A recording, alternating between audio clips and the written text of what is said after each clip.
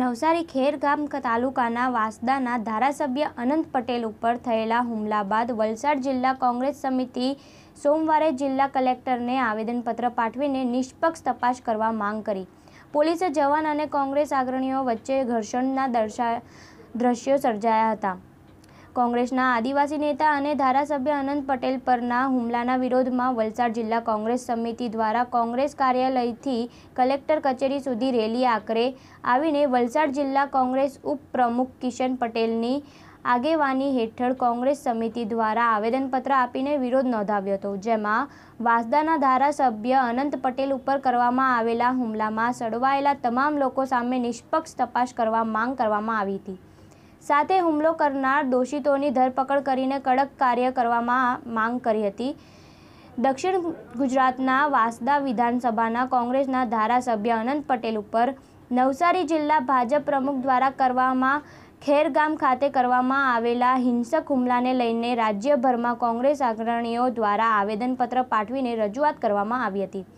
વલસાડ જિલ્લા કોંગ્રેસ સમિતિ દ્વારા શહેરના કોંગ્રેસ કાર્યાલયથી કલેક્ટર કચેરી સુધી રેલી આકરે પહોંચીને અનંત પટેલ ઉપર હુમલો કરનાર આરોપીને ઝડપી પાડવા અને ન્યાયિક તપાસ કરવાની માંગ કરી હતી. કોંગ્રેસ અગ્રણીઓએ કાર્યાલય ખાતાને રેલી શરૂ કરતા પોલીસ જવાનોને કોંગ્રેસ અગ્રણીઓ સાથે તૂતુ મેમે અને સામાન્ય ઘર્ષણના દ્રશ્યો સર્જાયા હતા અને કોંગ્રેસ અગ્રણીઓ વલસાડ જિલ્લા ઉપપ્રમુખ કિશનભાઈ પટેલની આગેવાનીમાં કોંગ્રેસના કાર્યકરો અને અગ્રણીઓ રેલી આકરે કલેક્ટર કચેરી પહોંચીને કલેક્ટરને આવેદનપત્ર પાઠવ્યું હતું.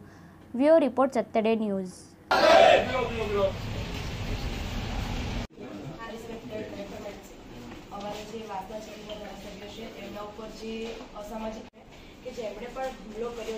જાણકારી અમને મળી છે કે ખેરગામના જે જિલ્લા પંચાયત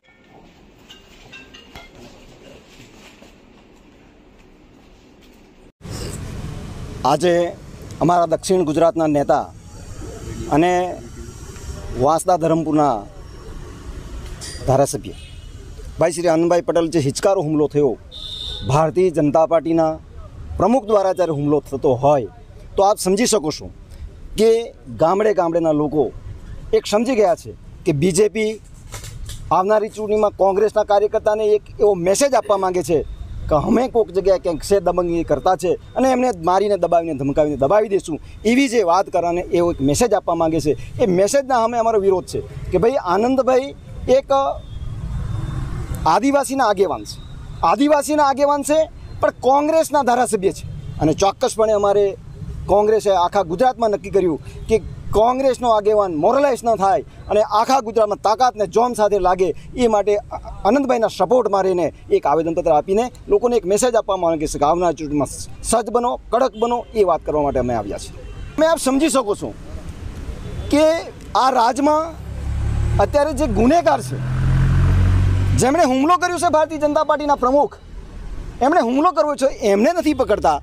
અને નોર્મલ વાત છે કે આવેદનપત્ર આપીને એક મેસેજ આપવા માંગે છે કે શાંતિ અને સલામતી જળવાય. આ માટેનો એક અમે મેસેજ આપવા માંગીએ છીએ. એ મેસેજને એ લોકો બગાડીને, સામાન્ય ધમાલ કરીને લોકોને દબાવવા માંગે છે, ગુમરાહ કરવા માંગે છે. એ વાતની પ્રતિતિ આપત્તિ પોલીસો પરથી પણ થઈ રહી છે. પોલીસ એ સરકારના પ્યાદા છે. આપ સમજી શકો છો. સરકાર જે સૂચના કરે, એમણે કરવું પડે. ને એ નાતે એ લોકો કામ કરી રહ્યા છે. એમની ફરજ એ લોકો બજાવી રહ્યા છે. જો તમે આ વીડિયો ફેસબુક પર જોઈ રહ્યા છો, તો લાઈક અને ફોલો કરો. અને યુટ્યુબ પર જોઈ રહ્યા છો, તો અમારી ચેનલને સબસ્ક્રાઈબ કરો. સત્તરે ડોટ કોમ આઝાદી સમાચારોની.